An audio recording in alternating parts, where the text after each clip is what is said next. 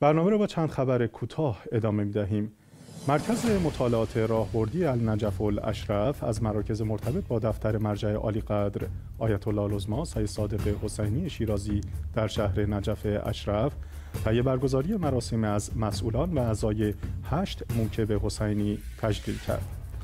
این اقدام به پاس فعالیت های مذهبی و فرهنگی این مواکب در مناسبت های مختلف سال انجام شد و تیان از مواکب تعذیت الحجت المنتظر عجل الله تعالی فرجه و شریف ازائر رابطه الزهرا سلام الله علیها هیئت شباب ام البنین سلام الله علیها هیئت شباب رضویه احباء الله و ابداء شهداء القف مضیف ام البنین الکلابی سلام الله علیها و هیئت ابناء الکوفه تجلیل شد. همچنین مسئولان مرکز مطالعات راهبردی النجف الاشرف آمادگی خود را برای ارائه خدمات فرهنگی و رسانه‌ای به این مواکب اعلام کردند.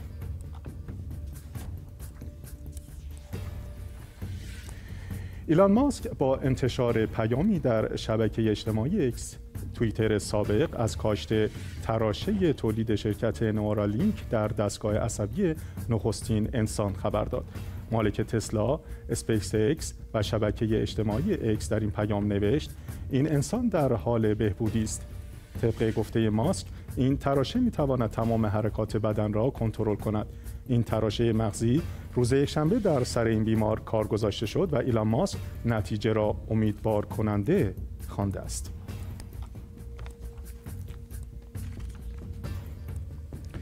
اداره مهاجرت کانادا از انتقال 310 پناهجوی افغانستانی از اسلام آباد پاکستان به این کشور خبر داده است. قرار است این پناهجویان در سی شهر کانادا اسکان داده شوند. بر اساس اطلاعات کانادا از ماه آگوست 2021 میلادی تا کنون حدود چهل هزار پناهجوی افغانستانی را به این کشور انتقال داده است.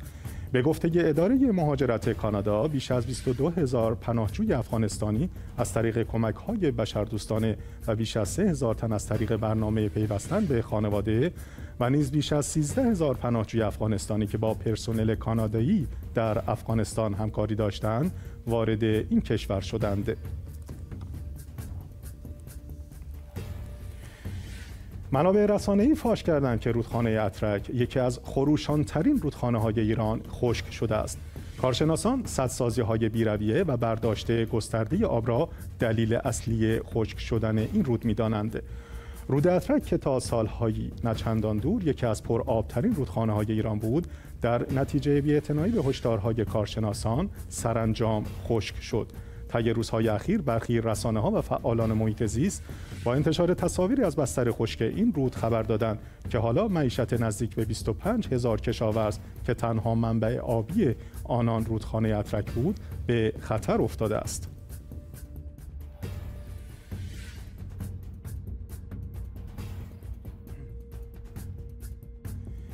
مرکز لرزه‌نگاری مدیترانه اروپا صبح امروز سهشنبه اعلام کرد که زمین لرزه‌ای به بزرگی 58 دهم ریشتر منطقه خودمختار سینکیانگ در شمال غربی چین را لرزان. گفتنی بیشتر مسلمانان اویغور در این استان سکونت دارند. هفته گذشته نیز زلزله مشابه در همین منطقه خودمختار رخ داد. تا به این لحظه خبری از تلفات یا خسارت‌های احتمالی در مورد زلزله صبح امروز مخابره نشده است.